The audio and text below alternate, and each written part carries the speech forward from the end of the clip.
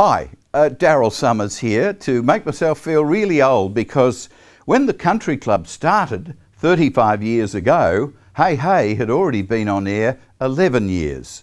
So now I'm 105.